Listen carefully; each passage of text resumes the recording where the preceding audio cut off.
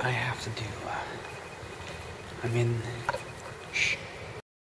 Actually, I'm trying to find a place to do a push-up challenge today because I'm not going to be able to do this at home. This is day six of 22 of the push-up challenge.